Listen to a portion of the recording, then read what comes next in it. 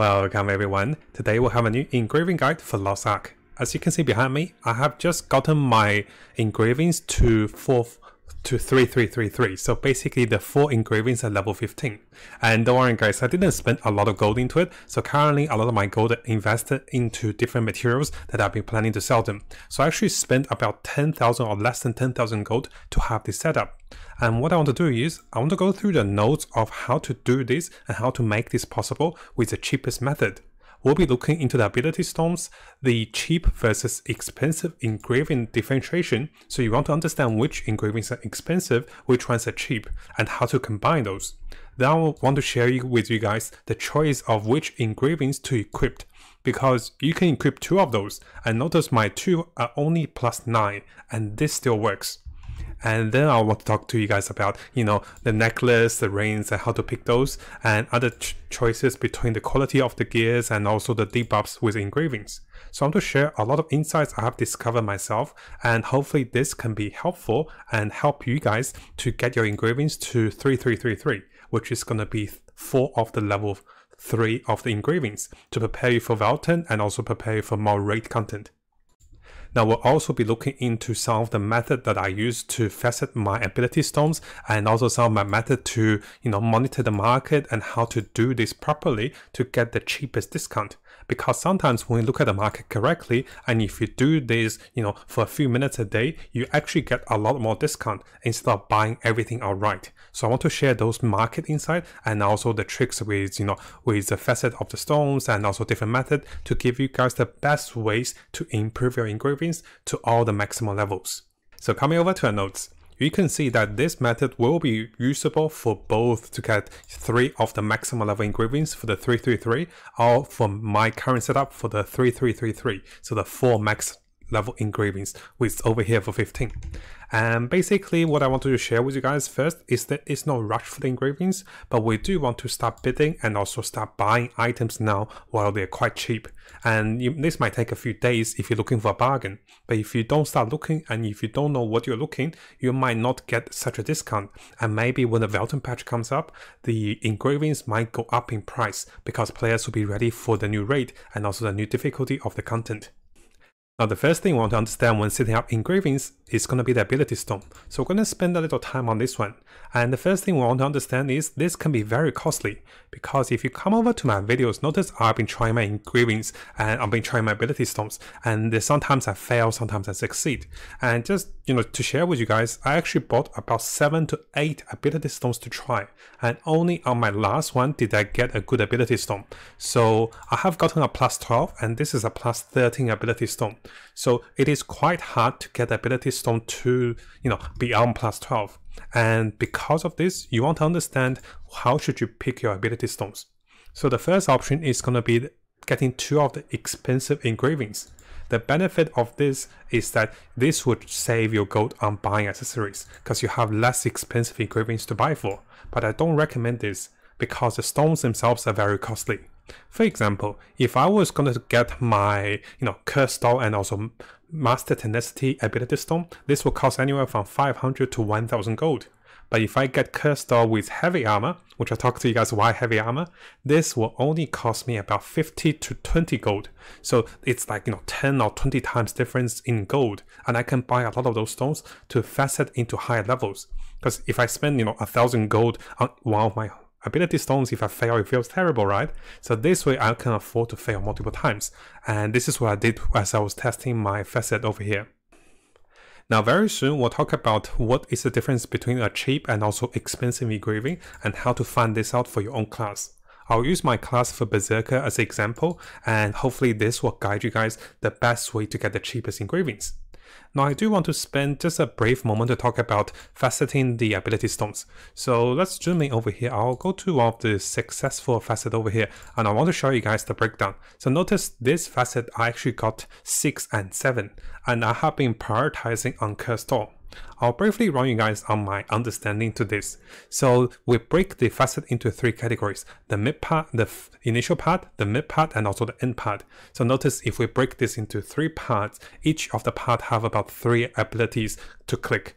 And the first part is about 75 or 65. I'll go for my Cursor, which will be my main ability.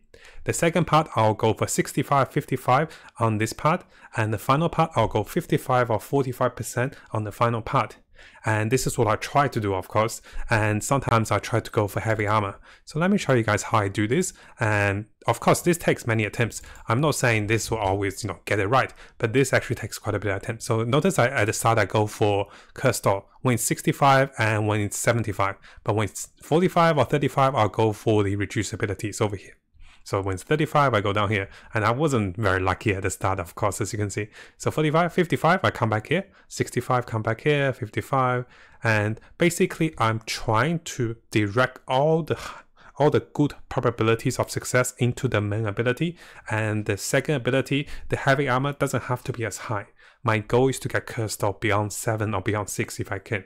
And, you know, thankfully, at the final few clicks, this worked. But as you can see, the focus will be focused on one ability for this method. My goal is to get my expensive main ability, it's cursed over here, to as high as I can. And the secondary ability, I'm okay armor is on 5, but if it's on 6, it's even better.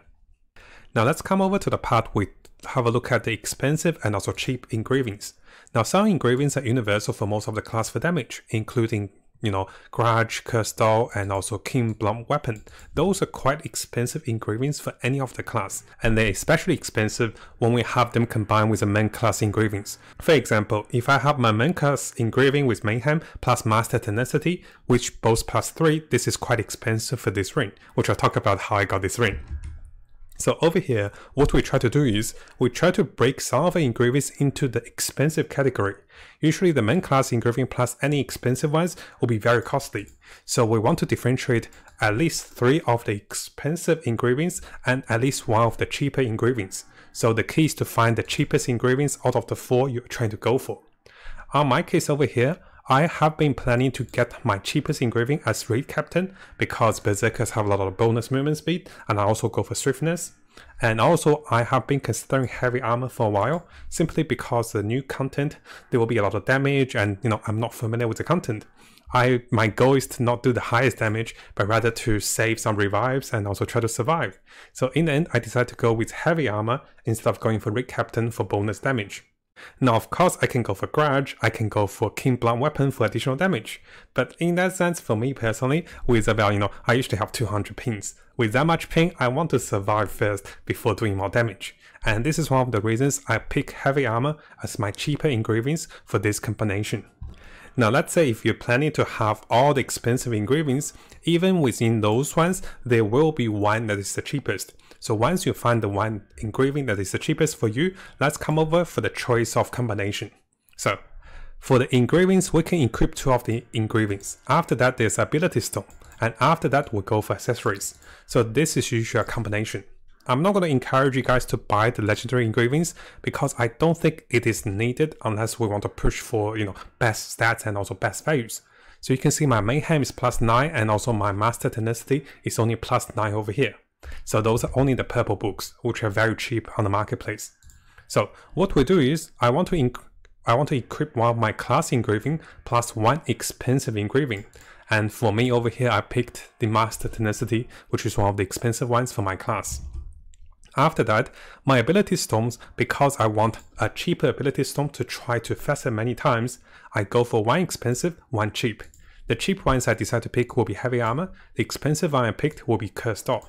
Notice now what I have is I have plus 9 on my mayhem, plus 9 on my master tenacity, and then I have plus 6, at least plus 6 on the expensive ability, and then plus whatever cheap engravings I get out of it. And now I'll be combining those with two choices. So very soon I'll talk to you guys about picking accessories. So I'll be combining plus 3 plus the cheap engravings or plus 3 plus 3. So let me, let me use this as example to show you guys. So what I do is let's remove some of my equipments. So let's remove those. So right now what you're going to see is I have level I have plus 9, plus 9, plus 7 and also plus 6. Now I was fortunate enough to find this ring. Notice that it has the critical I wanted and also it has the plus 3 plus 3. Very soon we'll talk about the stats and also quality as well. So once I equip this ring, this is what I'm looking at. So you do need at least one expensive accessory like this to make this work because the rest of it, I will be combining the expensive engravings plus a cheap engraving. So I'll be going with 3 Mayhem plus anything I find with heavy armor, and then 3 Master Tenacity with anything I find with heavy armor, and then Cursed Doll with 3, 3, and 2 with anything I find with heavy armor. And that is what I did over here. You can see here I have Mayhem plus 3, Heavy Armor plus 3, and over here I have Heavy Armor plus 3, Cursed Doll plus 3, and then Master Tenacity and Cursed Doll. And finally, we have heavy armor and also cursed doll.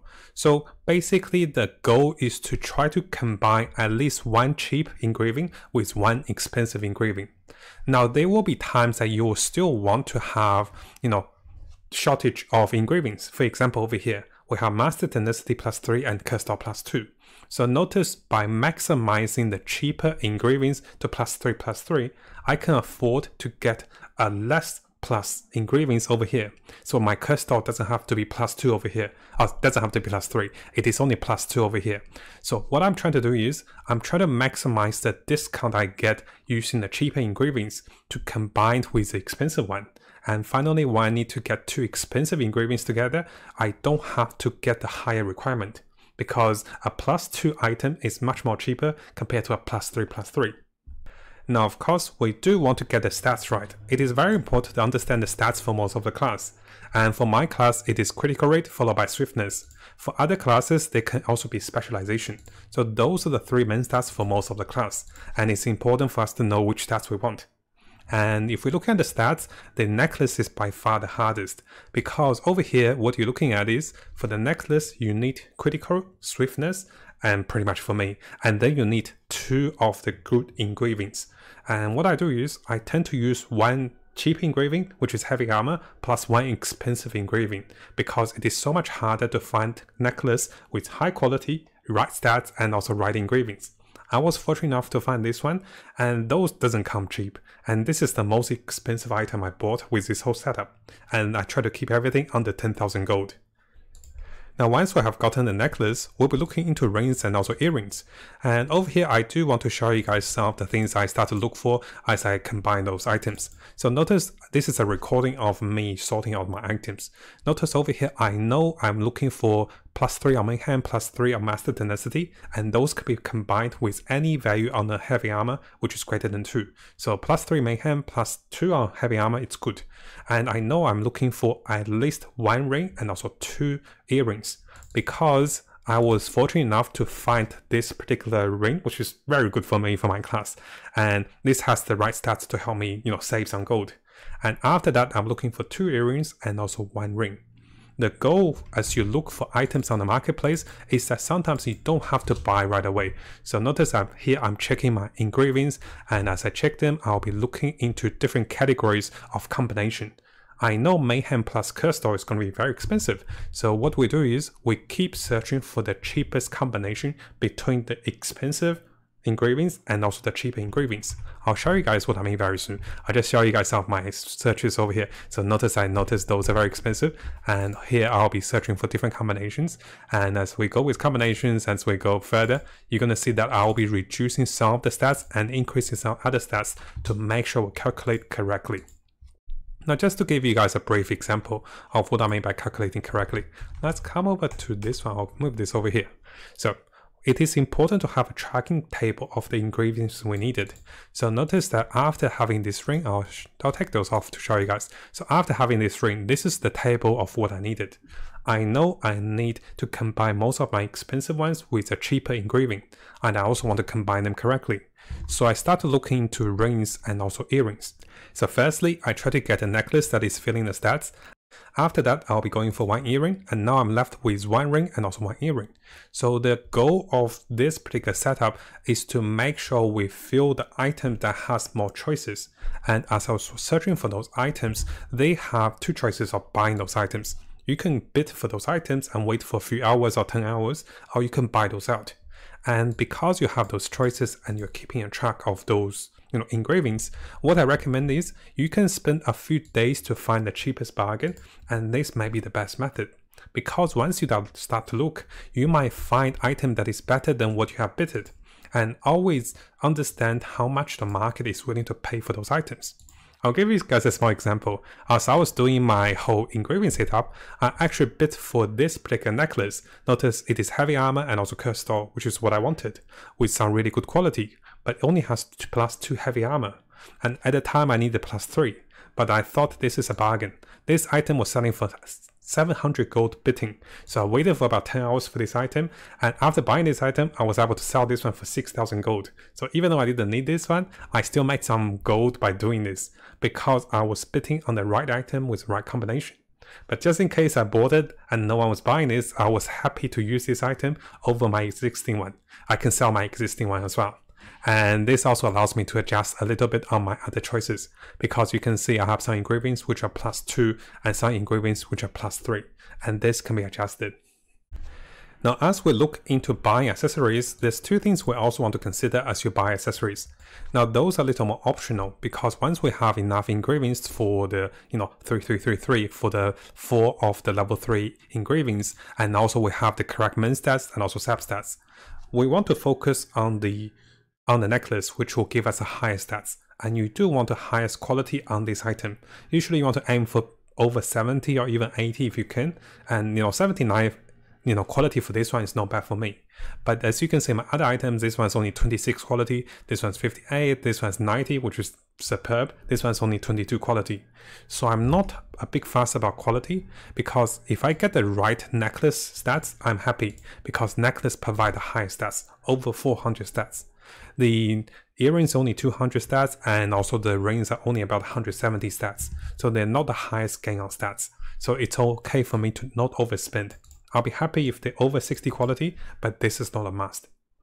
Now I do think it is quite important as you look into the engravings, you also want to look at the debuffs you get from the engravings. Because notice over here we have defense reduction for me, which is level 9. Because if I get one more of this, I'll be over the cap. So it's quite important to kind of balance those out. And as you can see, some of those knots will have a plus 2 debuff, and some of those have a plus 2, plus 1 over here. So as I was picking my items, I was actually not as focused on quality, I was a little more focused on the debuff of the knots of deductions. So this one have attack power power plus minus, you know, minus attack power plus one, which is good. You want to get that minus lower minus ones. And this one have a defense reduction plus three, which is not as good. So the goal over here is while you're balancing the price of items, you want to first consider how many debuffs you're getting on yourself. I think it is okay for the one level 1 debuff. If you get a level 2 debuff, this also means you're having two of the level 1 debuff. So in that sense, if I get this to plus level 10, this will minus 10% of my defense. It is not the worst, but it is not as great. So I'm okay with level 1 at the moment. And this is gonna be additional brain work as you guys look into the debuffs. What I recommend is, if you're looking into necklace, don't worry about too much about the debuffs, worry about the quality. Now, if you're looking at the earrings, consider some good quality, but you want to get lower debuffs. Notice I have a not plus one, not plus one. And if you have a really high quality, then it's okay to have a higher debuff. So this is kind of balancing. So this is a 90 quality ring with a defense reduction plus two. And finally, if you're looking for your last piece of item and there isn't much supply on the market, then it's okay to accept a lower quality and also a higher debuff. So this is more optional because those items they come in a variety of supplies, and you want to be on the lookout by understanding those methods. Now before we finish, I'll give you guys a quick rundown on how much I spent on each of my items. So I spent about, I bought about 7 to 8 of ability stones, and in terms of gold, so I'm we're not talking about pheons, I spent about 100 pheons, and that comes back to about 5000 gold. But because we have pheons for free, so I'm okay not counting the gold I spent on pheons, because I didn't buy any pheons with my gold. Those came from the game and also event. So the ability stones, I spent about 20 or 30 gold each for 9 of those, so that's about 300 gold for ability stones. After that, the most expensive item would be this brick necklace. I believe it was a buyout of 7000 gold, but I could have, I actually think I bid it as well. So the bid maybe was 7000, 6000 gold. So this necklace, let's say this is a 7000 gold necklace. and this is the most expensive thing on my whole piece. So this is 7,000 gold plus 300 gold, 7,300 gold. Now each of my earrings and also my rings are only less than 1,500 gold. I believe some of those 800, some of those are a little higher, some of those are 1,000. They don't go over 1,500 gold. And finally, I was fortunate enough to get this ring from my own, you know, raid, from my Argos raid. So because of this, I was a little more fortunate to only spend about 10,000 gold for this entire setup. And I do think I will be ready for the Valtan patch using this setup because I'm focusing more of a defensive capacity in terms of doing the most damage with Grudge and also Keen Blunt Weapon. I'm going with heavy armor and also some defensive capacity. Now, hopefully you guys found this video helpful. I know I'm trying to figure things out myself, and I think, you know, some pro play Korean players or other players might have a better setup, but I do want to share all the thought work and also my way of getting the cheapest engravings for you guys. And hopefully, you know, if you have any tips or insights, just leave a comment of how to do your engravings properly to do the cheapest way, and what are your recommendations? Would you go for most of the damage, or would you go for something defensive like heavy armor? Because I do believe the global service, the heavy armor price is actually pretty high because we have more focus on surviving the raid compared to doing more damage in the raid. Now, if you guys haven't subscribed to this YouTube channel, make sure you do so because we'll be getting a lot of guides, a lot of tips as I discover them, and I love the game. So I want to share as much as I can with you guys, and let's have a great time in Lost Ark as we explore this game and get the most out of it.